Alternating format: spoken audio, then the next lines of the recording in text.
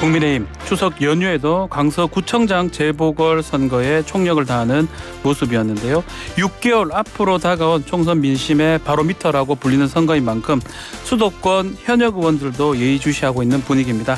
인천의 사선 중진 의원, 국민의힘 윤상현 의원과 추석 민심 또 보궐선거 얘기까지 나눠보겠습니다. 의원님 나와 계십니까? 예, 윤상현 의원입니다. 네, 의원님. 예, 자 연휴 길었고 이제 끝났는데 추석 민심 좀 청취해 보니까 어떻던가요? 아, 민심은 대체로 이제 민생 경제 네. 어려움을 호소하는 경우가 많았고요. 네. 또 이제 정치권 전체에 대해서는 뭐 이제 여러 가지 불만, 비판도 적지 않았습니다. 네. 그래서 민생이라는 게 보면은 좀 어떻게 보면 우리 정치인들 스스로가 음. 부끄러워해야 하지 않나 이런 생각이 듭니다. 네. 예, 이 공자께서 옛날에 말씀하시지 않았습니까? 음. 가장 중요한 게 이제 족식, 족병, 또 민신 아닙니까? 아, 그 중에서도 예. 가장 중요한 게 예. 국민의 신뢰인데 예. 여야 정치권이 국민에 대한 신뢰가 부족하다 음. 이런 느낌을 강하게 받았습니다. 여도 야도 뭐 민생 얘기를 하긴 했는데 진정성 없다 이렇게 생각 하던가요 국민들이 또 주민들이? 아, 진정성에 대해서 불신이 큰게 아, 사실입니다. 그게 그렇다는 예. 거죠. 예, 네. 자 추석 직전에 이재명 대표 영장이 기각되면서 예. 국민의힘 같은 경우는 귀경 인사 일정 취소하고 비상의총도 열렸습니다. 막 기각을 좀 예상 못했던 것 같기도 하고요. 의원님도 좀 구속을 예상했던 걸로 기억을 하고 있는데 예, 예. 어떻습니까? 저도 이제 이재명 대표의 범죄 혐의가 네. 이제 워낙 이 중대하고 네. 혐의가 많기 때문에 이제 당연히 구속될 것이다 이렇게 봤습니다. 음, 그런데 좀 일단 그 부장 판사의 네.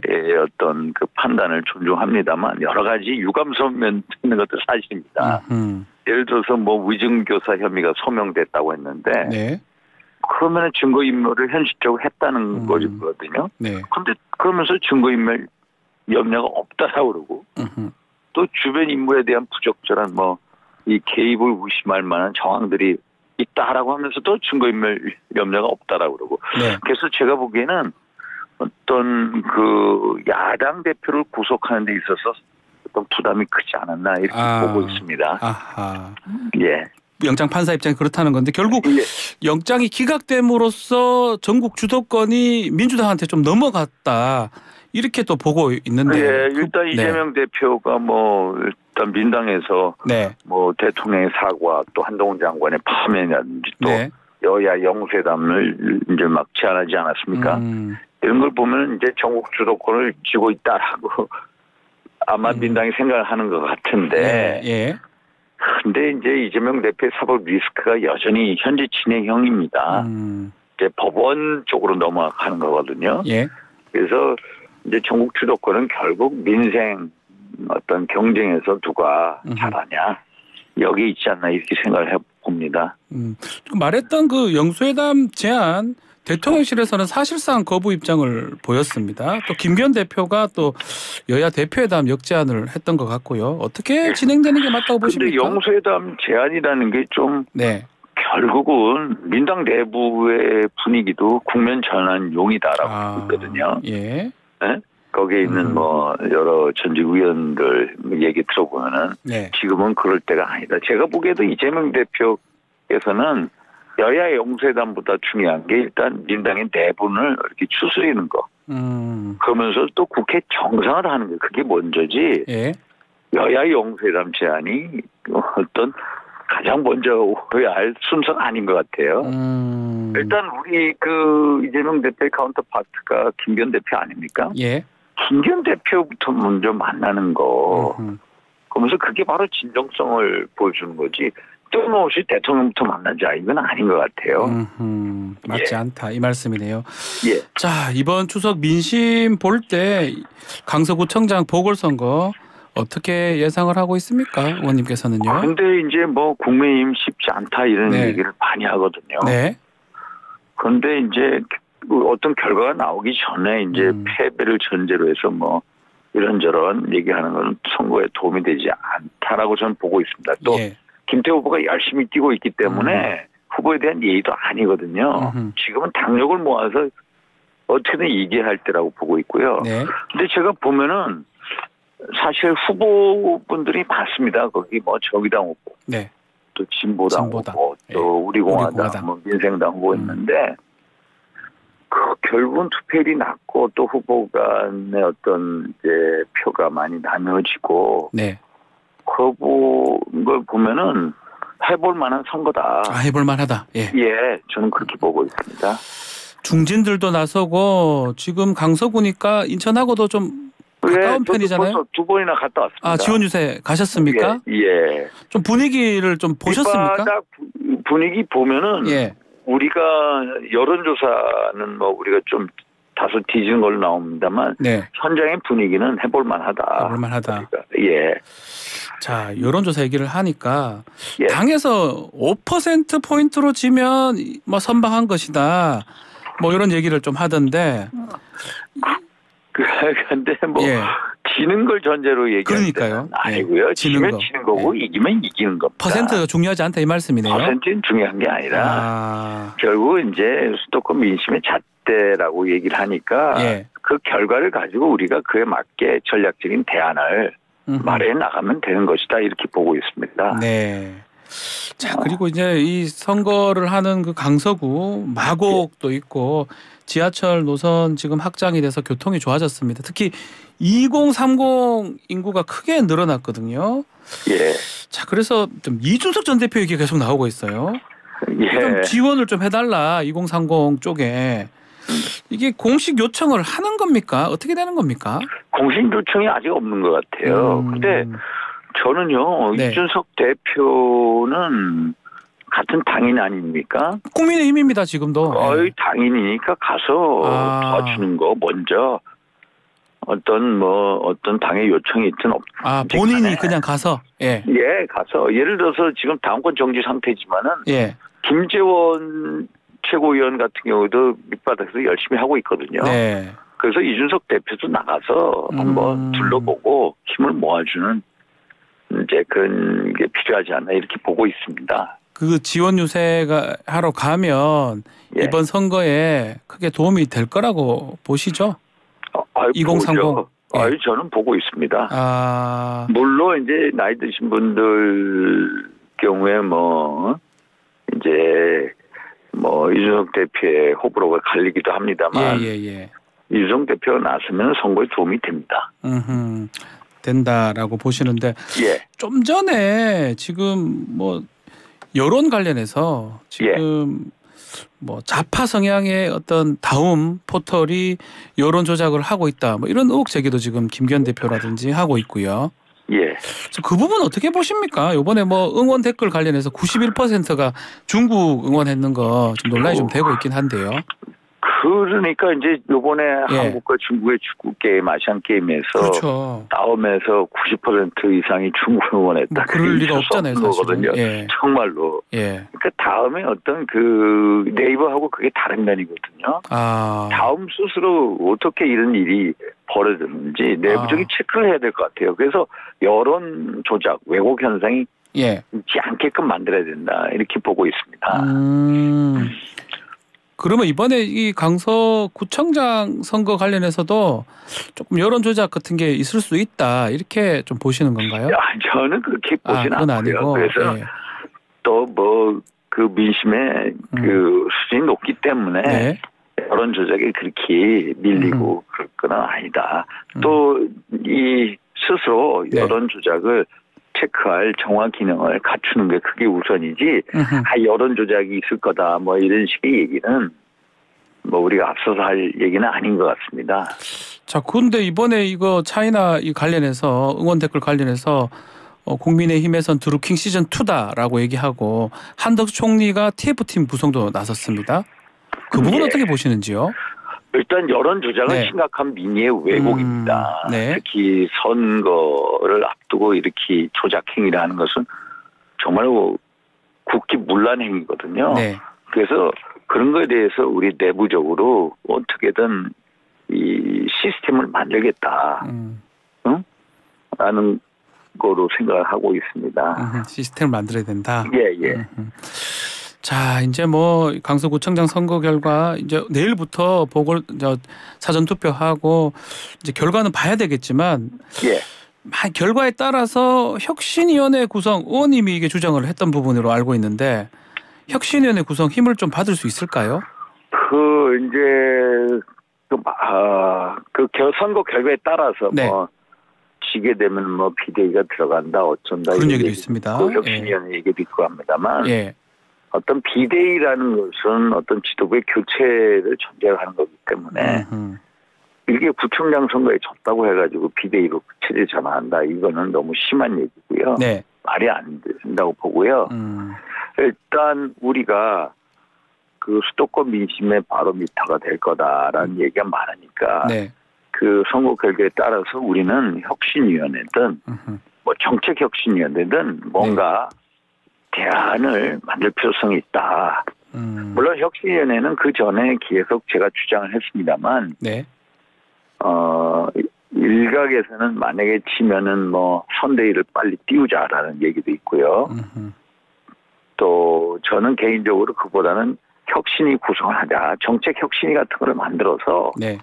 정말로 수도권과 중도층과 2030 에 음흠. 맞는 전략과 메시지와 정책과 공약과 인물들을 네. 이제 준비하는 거 그게 훨씬 더 필요하지 않나 이런 음. 생각은 뭐 8월달 연찬이나 지금이나 똑같은 네. 생각입니다. 수도권 선거에서는 그게 더 중요하다 이렇게 보시는 거군요. 예 예. 자 내년 총선 관련해서 용산에 지금 참모진이 대거 지금 나올 수 있다 이게 예고가 되고 있는데 이 부분은 의 원님께서는 어떻게 보시는지요? 근데 이제 항상 네, 집권 여당 시절에 보면은 네. 대통령의 이제 국정 철학을 이해하는 사람들이 음, 이제 총선에 나서지 않습니까? 래서 그렇죠. 대통령실에서 많이 나옵니다. 지난번 문재인 정부에서도 많은 분들이 이제 총선에 나오는 걸 희망을 했고 또 예, 예, 예. 많은 분들이 또 국회 입성을 했습니다. 그래서 음. 그거는 대단히 자연스러운 거다라고 저는 보고 있고요. 예, 그래서 대통령실 뭐 출신이다 아니다. 이게 중요한 게 아니라 더 음. 중요한 것은 유능한 인물이다. 음, 어떤 인물이냐가 더 중요하고요. 네, 유능한 인물이라면 우리가 환영할 만한 거다라고 음, 생각하는데, 근데 대통령실 인물들이라고 해가지고 어떤 뭐 기존의 당에 오랫동안 헌신해온 분들보다 네, 어떤 특혜를 줘서 안 되겠죠. 음, 공정한 네, 그런 경쟁. 음, 이런 걸 통해서 경쟁력을 서로 평가받아야 된다 이렇게 보고 있습니다. 네. 자, 뭐 선거 앞두고 또 여당으로서는 이 개각 민심도 중요할 것 같은데 오늘 이제 김행 후보자 또 유인천 후보자 예. 이 청문회가 열립니다.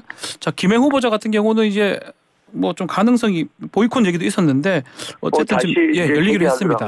어떻게 예. 보고 계시는지요? 어, 김행 후보자에 대해서 이제 뭐 여러 가지 뭐 의혹 뭐 여러 제기가 있었습니다만은 예. 다시 이제 그 인사청문회 하기로 여야가 합의한 것 같습니다. 예. 그러니까 그래서 아마 본인 스스로 해명을 잘 하리라 봅니다.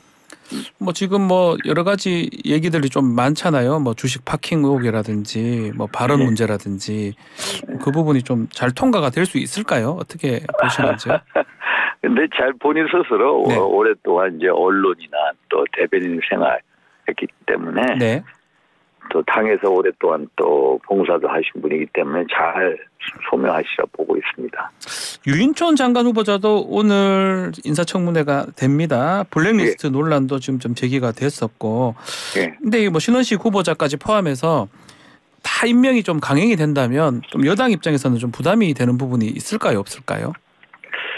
이제 사실 뭐, 아, 뭐 이제 제가 어떤 뭐 전제로 해서 네, 이 말씀을 맞습니다. 예. 드리기는 어렵습니다만은 이제 어 그 강행이라기보다는 하여튼 그 청문회를 통해서 평가를 받고 그에 음흠. 맞게 합당한 선택이 있지 않겠나 이렇게 보고 있습니다. 음흠. 그리고 내일은 이균용 대법원장 후보자 임명 동의안이 이제 본회의에서 상정이 되면 이제 표결이 되는데 민주당에서는 좀 부결에 힘을 싣는 분위기입니다. 그 그래서 이제 몇 가지 예. 그뭐 이제 그 자녀 그 음. 뭐라나 이제 증여 우여 네.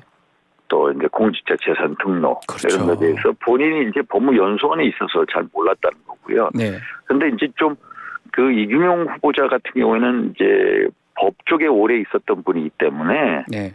법적인 잣대에 그 들이대는 수준이 너무 좀 다른 후보자들에 비해서 좀 높은 것 같아요. 아, 수준이 높다. 잣대가 너무 예, 높다. 잣대가 너무 높다 보니까 이제 아. 부결에 이제 주안점을 두고 있는데 예.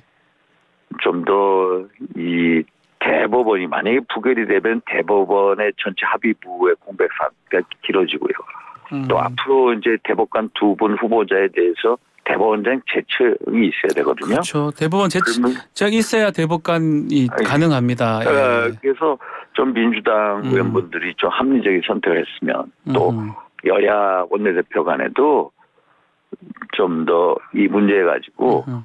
합의를 협의를 해 나갈 필요성이 있는 것 같아요. 음. 예.